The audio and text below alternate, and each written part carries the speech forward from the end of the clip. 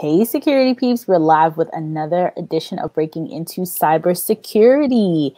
Today is Mondays with Dr. Dan. I am Renee Small, cybersecurity super recruiter, helping awesome leaders hire great talent. Say hi to everybody, Dan. Hi, uh, Dr. Dan Schaefer, company's peak performance strategies. And what we do is to help people get a competitive edge very, very quickly and separate themselves from their competition very, very quickly, which makes a big difference in today's marketplace. That is absolutely true, Dan.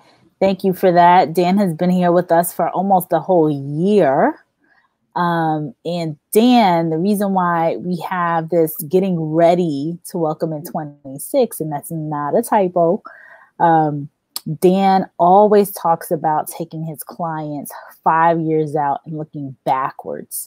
So right now, all of Dan's clients are in 2026. So Dan, I want you to jump in, talk about your philosophy around this. I mean, it's been an amazing experience for me to experience over the years, being five years, always five years out. Um, so would love to have you share that. Welcome, getting ready to welcome in 2026 for this Monday. Because next week we're going to be doing 2026, but today's getting ready for it. Yep. Uh, I want to just start quickly by talking about the difference between your conscious and your subconscious mind. Your conscious conscious mind is what you use every day: look, listen, learn, analyze, synthesize, accept, reject. Uh, your subconscious mind is different, though. Uh, it does a bunch of things, but what it must do is it must act out any thought, image, or idea that you put into it. Uh, and it will do that relentlessly. Part of my business is helping people get out of the way to, to empower their subconscious mind to do what they need to do. May sound a little airy fairy, may sound a little off the wall. However, people who do this will not talk about it. People who uh, visualize out into the future. Uh, this is not goal setting. Don't mistake this for goal setting. This is dreaming. So, what I'm going to suggest that you do, and I'll give you some ideas and some examples of people who've done this is spend the next week imagining for just a moment that you're not in 2021, approaching 2021, but you're in 2026. So, what does that look like? What do you want to have happen? Uh, what do you want your 2026 to look like? You're five years older. Your, your family's five years older. Uh, you know, you, your kids are five years older, you know, getting ready to go to school or whatever.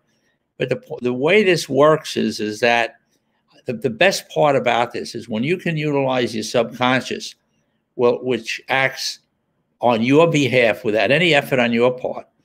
Once you get the target into your subconscious mind, so you'll imagine, for example, uh, I'm dealing with a, a woman later on today who's going to be in dental school.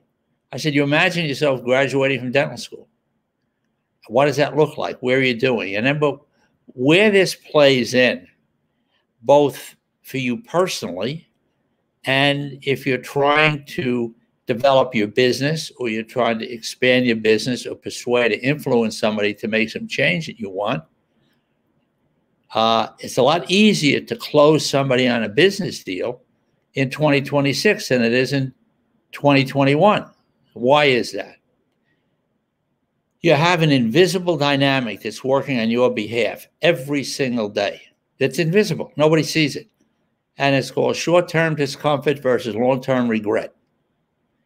Very simply, uh, whatever we're proposing now that you do, you think about, is maybe uncomfortable, but I'll tell you what you really, really don't want. You don't want to be in 2026 looking back and saying, boy, I wish I did that. I wish I made this phone call. I wish I connected with that person. I wish I worked on myself. I wish I, I did something differently. So it's that dynamic that gets somebody to think about what you want to be doing.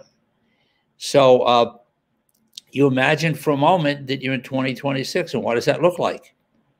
Now, I know we did that with uh, when I worked with Hewlett Packard executives who were in the middle of the merge with Compaq, that was some years ago and they would go out to a, a, a, client on a senior level. This is a, a guy who like ran the Czech Republic would go out to speak to one of the biggest box store people or whoever they supply. And he would say, listen, tell me what five years out from now looks like. And the initial response is, wait a minute, I can't set goals for two for a year. Why do you want me to set goals for 2025, 2026? Well, the reason is is that it puts it into your subconscious mind. It works on it all the time. What we do, and Renee mentioned it with my clients, is I look backwards from 2026 to today to find anything that somebody could do that would foul up their plans. What can you do to derail yourself? What could possibly come into into uh, uh, into play that could derail you? Well, you may be changing your job. Uh, you may be trying to develop some new defense against uh, penetration in your company. Uh, I don't know what that is, but you know, as you start to look at it, your subconscious mind does some interesting stuff. Most of the people I speak to said, you know, I've always been told not to be distracted, to stay right on what I'm working on and stay on that.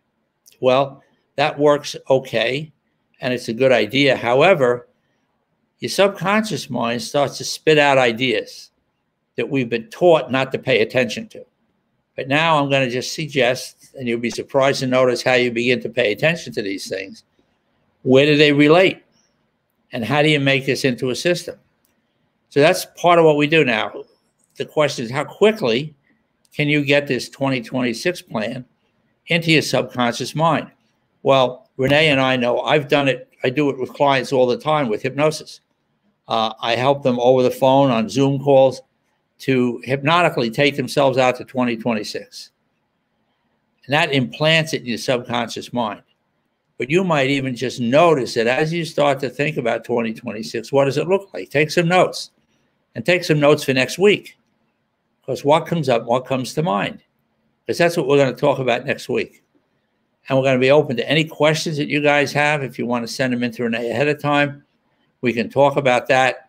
Uh, but that's what this whole concept is. It's using your subconscious mind, which acts day and night on your behalf, as long as you don't get in its way. Dan, I think that's so important to talk about the subconscious mind component uh, because that is, I think, the foundation of everything that you do. Um, I can talk some more about it. One one sec, Dan. We're okay. gonna shout out some people. We're here. So uh Hi, Philip Phil. Wells is here. He said I call me on the phone, Dan. Phil. Dan, I'm gonna put Dan's number up. Uh Roger said, sorry I'm late. No curtain today. No open curtains. Open curtains for the new year. Then we'll unleash the curtains. New year, new curtains. It's too sunny behind me. Roger White says hi, Renee and Dan. So, Dan, as you get started, as you talk talk more about this, I wanted to just, you know, I want to share with folks that you and I have been doing. You know, I've been working with you for a very long time, um, and some of the things that you've done, we started back, goodness, a decade ago. Um, and I remember, or even before that, because I remember yeah. looking into, I think it was 20, I think it was 2005, and I was I was in 2010 at the time, something like that, something. and it seems so bizarre. It's like, what are you talking about? Um, and so, just having that subconscious mind, having things that you know weren't even remotely something that I was thinking about. But when we did the the exercises and these you would say these things are flashing into your mind and all of these things that I wasn't even it wasn't even on my radar. Um and so many of them have you know manifested and they're here. Thank and you. so I think that by people not it, it de- definitely you say this all the time it defines conventional wisdom it is not your standard hey write a list and think about goals and things like that it really truly is this dream of what you think your life is going to be or you might even might not even think that because in my case i didn't think i I didn't have. I wasn't thinking children. I wasn't thinking anything like that. And it was showing that's what was coming up. Um, and so I was like, this is crazy. you know, this is nothing. You know, I had a health condition. I was didn't even think I could have kids easily. I was like, well, I don't know about this stuff. And all of it, you know, it all started to come through, come come true. So um I just think it's just so so powerful what you do and what you help people do and it makes perfect sense to me that all of these you know your clients just continue to come back um, and that they would want to keep you a secret. I mean I've had you for a secret for a while myself but you out here to share you with the world. Well you know we've been Renee and I have worked together for a long time and uh, you know, in, in, the environment she was in, in a corporate environment, uh, it wasn't something that she, you don't want to have to explain this to somebody. You want somebody who buys into it and says, okay, I'm going to give this a shot. I'm going to see how it works out myself. And that's what we did. But in a corporate environment, I mean, we we would have phone calls, and Renee would Renee would go into the ladies' room, make sure nobody was there, and we talk in the ladies' room. You know, it, but the point is, is that uh, it, it's giving somebody a tool that nobody else has and nobody uses and they don't use effectively. Uh, it plays into a lot with what we talk about with how much all of you on this call know that you don't know that you know. How much do you really know? You don't know how much you know. But what I've found routinely in working with people who are on very high levels in, in companies, a lot of these people either don't have a target they they have short term targets, which are important. But the fact is, is that the long term objective is really what drags them toward it. Because you know, once you set once you set this in your subconscious mind, the the the uh, vision, the dream drags you toward it. And the idea is to find things that get in your way. So what distracts you? Many of us have been told. I can remember you know, as, as, a kid in school, and that was a long time ago, saying to people, you know, uh, pay attention. Don't daydream. Everybody is told, don't daydream. Well, this is dream. this is daydreaming. You know, I we talk a lot about talking to yourself, and I have a very very close friend. He wrote the foreword to my two books. Uh, he he said he's a psychiatrist in the city, very prominent psychiatrist. And uh, we were at a party one time, and he said to me, what, what do you do? I said, I, I teach people how to talk to themselves. He says, I try to stop them from talking to themselves. so, you know, it's very interesting. But what gets in people's way? Just listen to the comment. You know, I say to people, I would say to Renee, Renee, tell me what Renee hears Renee saying to Renee when Renee overhears Renee talking to Renee. Does your, does your internal conversation contaminate your performance or not? Sometimes it does. And the sad part is when it doesn't, you don't see it. You know, I, I have a, I was doing a project in, in Geneva for Hewlett Packard, and one of my clients was a guy who ran Ireland for Hewlett Packard. And along the way, he said to me, You know, I, I understand from some of your, your colleagues here that you work with golfers. I said, Yes. He said, Well, I'm a three handicap golfer. That's a very good golfer for people who don't play golf. He said, I'm in a club tournament with two scratch golfers. Those guys are really good. And he said, I'm afraid I'm going to get embarrassed and be embarrassed by this conversation, by this tournament that I'm in. I said, Well, we were scheduled to speak every week for a year. So he said, uh, let me uh, let me think about it. So what tips do you have? I said, listen to the way you talk to yourself. He said, oh, that's BS. He said, I don't want to do that.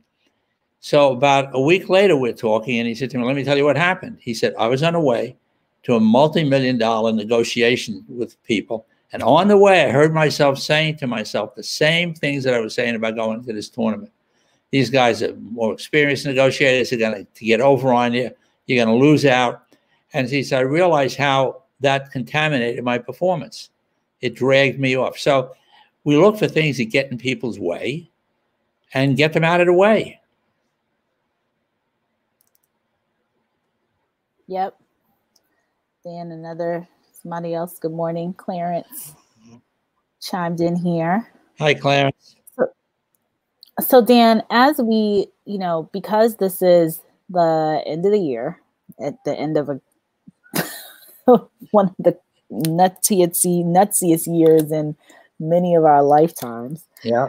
Um, what do you recommend people do to prepare to get ready for since we're talking about 2026 right now this is not 2021 in our heads this is 2026 so what are we doing to get ready to get ready for that uh, we don't even have to tell them what to do you'll be surprised to notice how much you start to think about or dream about 2026 in relation to yourself and your family and your business and where you want to be.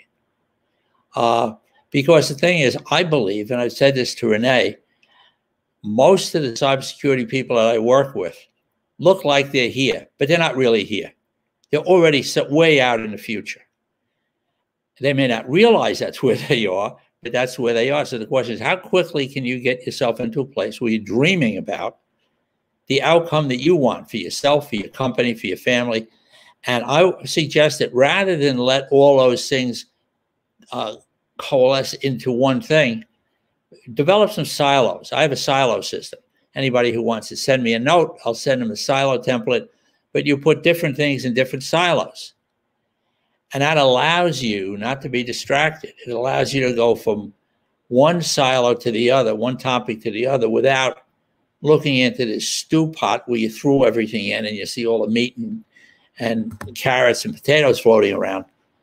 Um, it helps you to uh, deal with things individually. It's like a quarterback.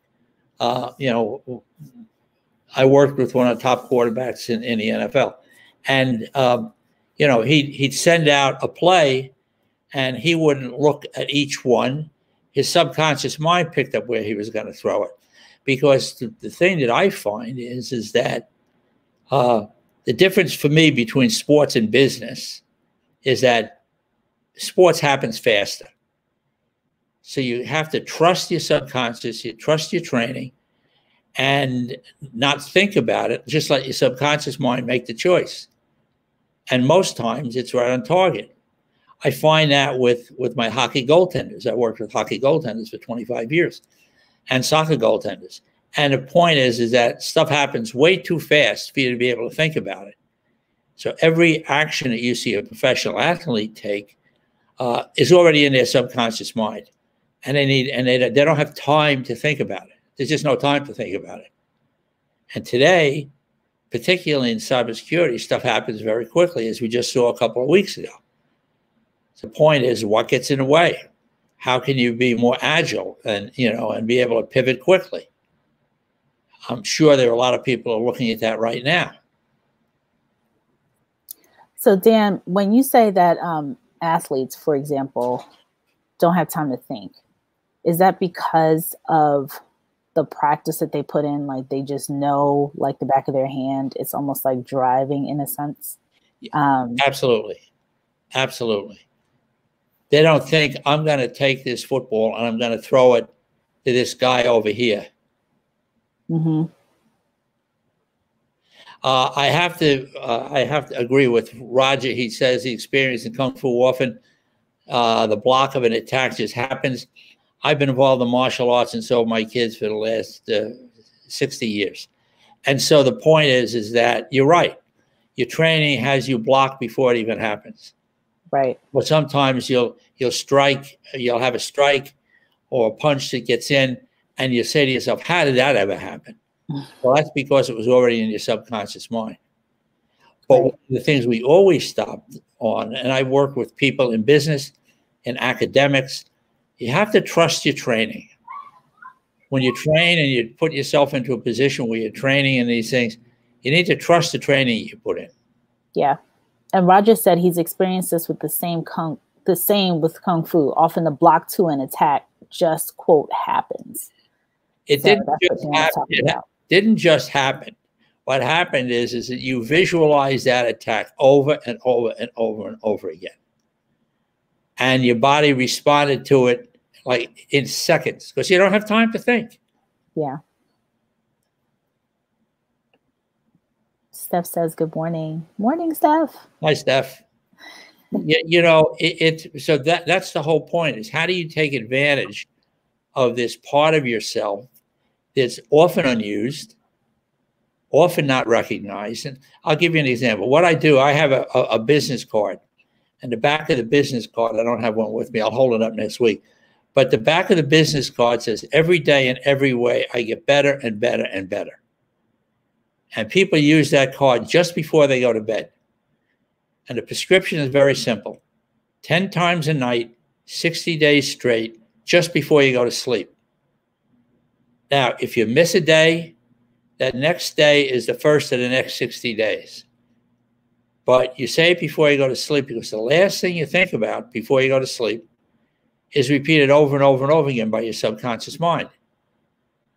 And so, why not take advantage of the time you're sleeping to get better at whatever you want to get better at? And so, it's how to put how to put all that together.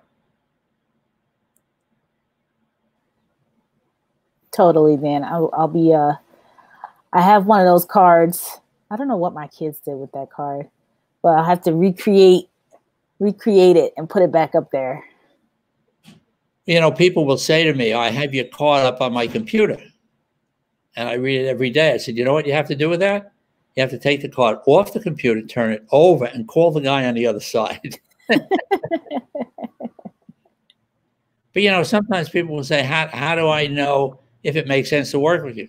You arrange a 15 minute free phone call with me, and I tell you in five minutes whether I can help you or not. And you'll know too. Yeah. So it's where do you go with that? See, it, it, it comes back down to not what is it cost to do something, what is it cost not to do something. I bring this up with Renee all the time. Somebody's looking to develop a, a cybersecurity team. So what's what are their choices? What are they going to do? Are they going to go to the yellow pages? If anybody remembers what the yellow pages are, uh, or do they call Renee on the phone? Because today, because of everything that's going on, slow is not working anymore for people people want stuff to happen quickly. And they're more aware of where they can fall short and they don't want that to happen. Right. See, people say, well, um, you know, it's coming up to the holidays now. I'm going to stop until the first of the year. Well, you don't stop, you slide backwards. Because I will tell you, for my clients, nobody is stopping. Yeah. Everybody's moving forward. Plus, with the advantage that they have now with Zoom calls and being able to contact people all over the world in a very quick, short period of time and market their services or their strategies. It, it's it's just a whole different world, and I don't think it's going back. Yeah, I I agree with you, Dan. I I think this is one of these times when we it will never be 2019 again. No, Mm-mm, not happening. Clarence says, great advice. Roger says, need a chuckle emoji for things like the yellow pages comment. Uh, I agree. How about me giving you another one? Renee and I have been talking about this. How about your Rolodex? You want to hold a picture of your Rolodex up somewhere? Last week, Dan said Rolodex. I was like, Dan, there's a whole generation of people that have no idea what, what that is. But let me let me tell you where the competitive edge is being found. I have clients who are going back in and pulling the Rolodex out and going through it and seeing who they have contacts with, who doesn't know what they're doing right now. And, and they're putting together ways to contact those people that are very unique and very interesting. Yeah. You know, it, it's an interesting dynamic. People people are using different things to attract clients you know, some of you know I've talked that I work with uh, with golfers. I guarantee golfers three to six strokes with their golf game without ever touching a club.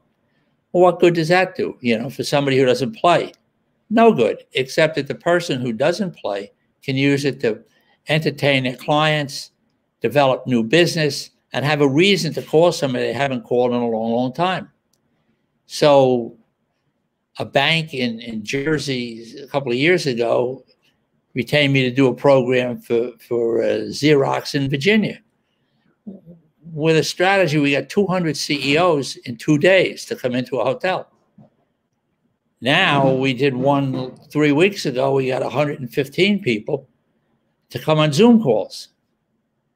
Mm-hmm. So it, it's is there a different way to get people to talk to people about this stuff? Right.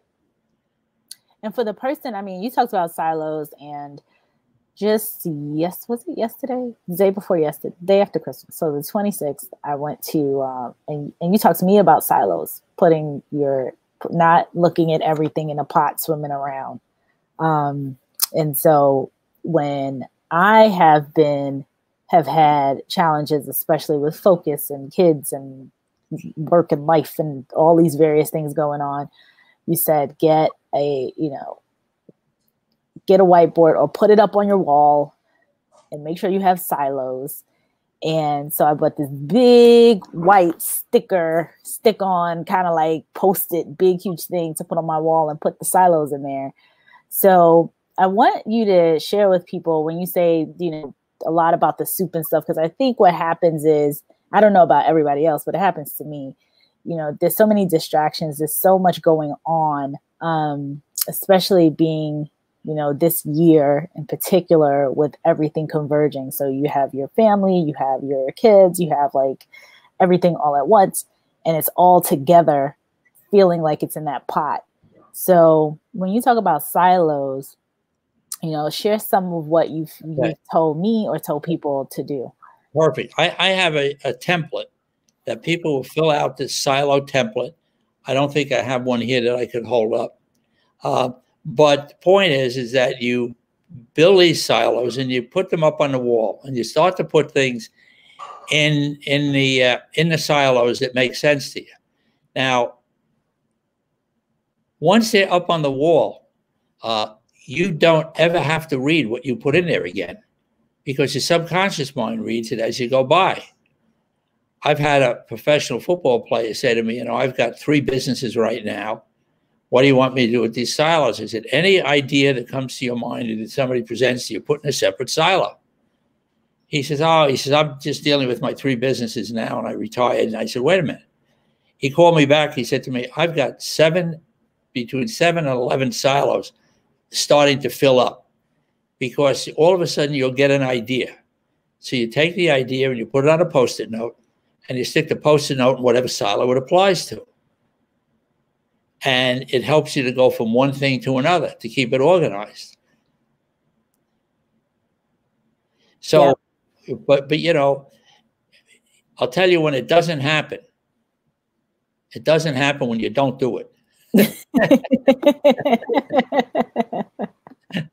Well, Philip Well says, Renee, that's me. Phil, you could be my accountability buddy or something.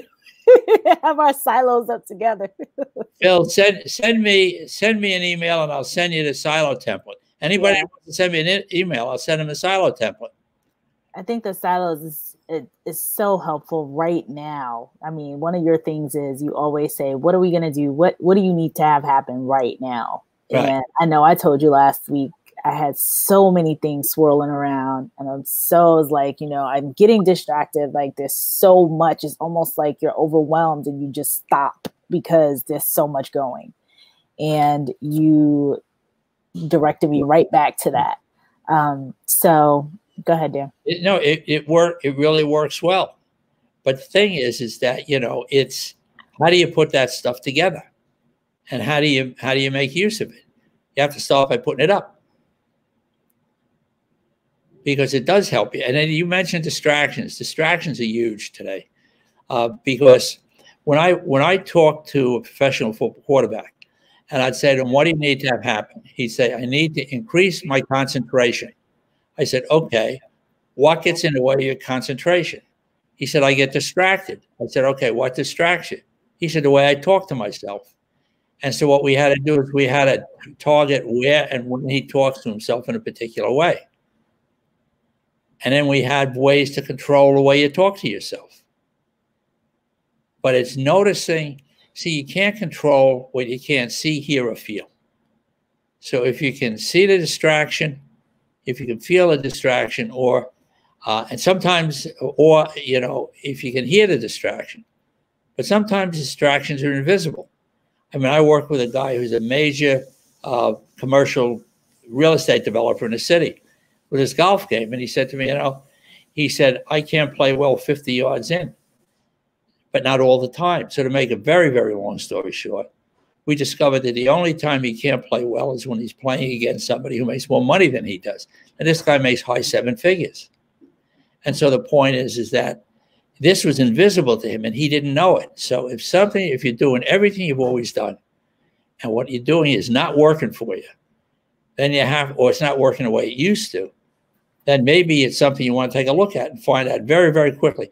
I want to make it very clear that, that what I'm talking about here is not therapy. It's not once a week for the rest of your life.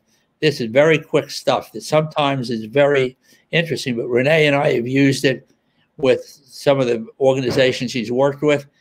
But keep in mind that everything we're talking about here is going on for the people that you're talking to, the people you're trying to persuade and influence. So they're saying, what the hell do I do now? What do I do next? Yeah. And I, you know, I, I said to some somebody, you know, uh, Chris is one, one, Chris, who's one of the people I've been on a program with, with Renee.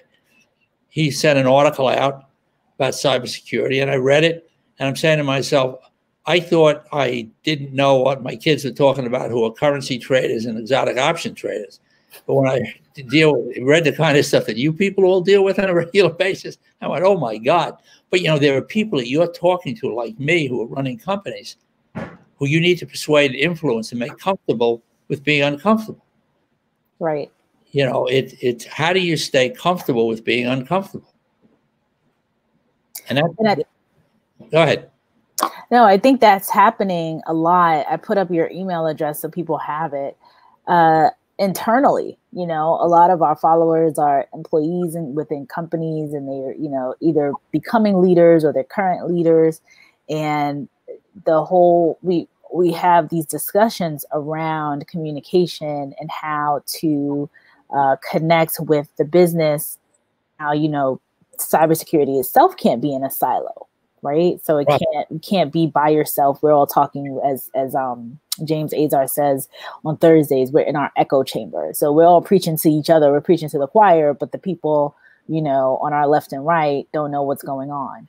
So I think that component is so very important that you talked about where someone like you who's owning running companies and the other CEOs and C-suite executives and and you know SVPs and leaders and MDs and whoever who are not deep down into cybersecurity like us um, you know, they see this and they don't know what to make of it. And so.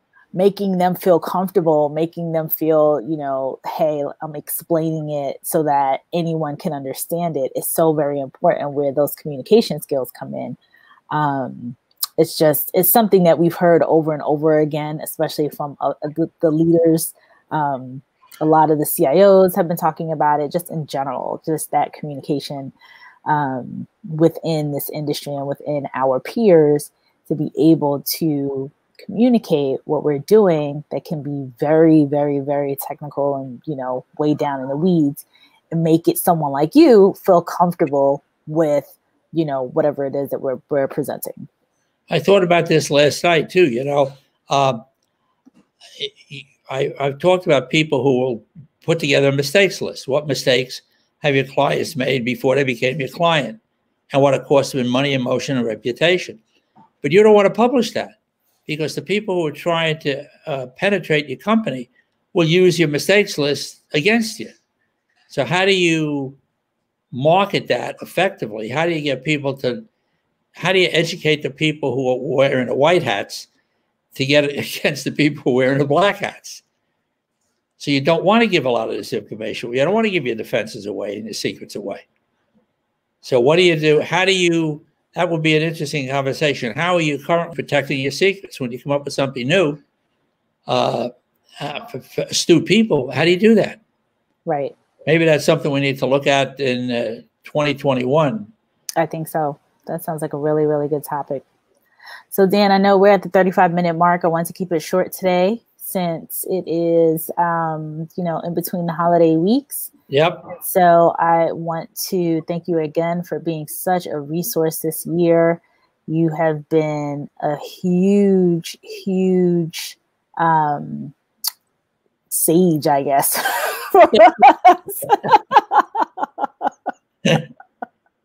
for all of us. I know for me in particular, but I think I think collectively we can say that you have provided so much. Um, I, I feel like calm, you know, like just being here to share your expertise, to uh, talk to this community, and to consistently be here, you know, for us pretty much every Monday um, since I don't know March, February, whenever this thing first yeah. started, the lockdown. So been here, you know, almost every single Monday, giving us um, you know, so much during uh, during this year, this year of 2020. So I just want to say thank you, and that you've been so so so helpful for all of us. And I see some I see some things coming in here. Roger says, "Thank you, Dr. Dan." Bruce says, good luck fighting social engineering. yeah, it's going to be crazy. Uh, John said, I had a great listen. Thanks. So I know we'll be back next week and we're talking right. about actually now that we are in 2026, no typo, we're in 2026. Um, you know, what, what are we doing? Right? right. So, you know, it's, it's you, everybody who's listening can come in with things that they want to talk about, that they want to address, and also that they want to address in confidence. Because there's also a way to take something you're dealing with in confidence completely offline and talk to Renee about it or talk to me about it. Uh, and, uh, you know, as I say, it's a free 15 minute phone call uh, to find out, you know, can I help you or not? And Dan, you know, you have to when it's confidential, call Dan. Just call, reach out to him directly. He is a very approachable. He is looking for your calls. He's looking for your text messages. So please reach out to him. I'll put his number up there. Bruce says, Thank you, Renee, for putting this together. I wish I could always great podcast. Thank you so much, Bruce. Um, this has been I I, you know, we started this one on a whim which is what I, I, do a lot of stuff on a whim, right? See, see if it works, see how it goes. And this has, I mean, I've gotten so much feedback, positive, positive feedback, and to, you know, continue to have you back and continue to provide this this advice and um, you know, sometimes especially if we're in the middle of things and you say this all the time and i'm going to wrap because i know you have to run too. Right. one is that you say all the time you know the thousand foot view the 10,000 foot view you know being in 2026 like you're always above the current situation. You're always like take a step back take a you know like if you're in an airplane and you're looking down how does that look in comparison to you being on the ground? Um if you you know when you're in 2026 looking backwards. So all of these different tips i think have been um and i mean i know they've been helpful to me over the years so. Well, thank you. Hey we'll keep it up. We will keep it up. We will keep it up. Clarence says thank you for your wonderful advice. Roger says that was my subconscious. Is totally true. Uh, and bruce says thanks for putting it together. Oh he said that already. All right dan so we will see you next week. Brand new year same same time, same station. Same time. We'll see you soon. Okay. Bye, everybody. Bye See y'all on Thursday.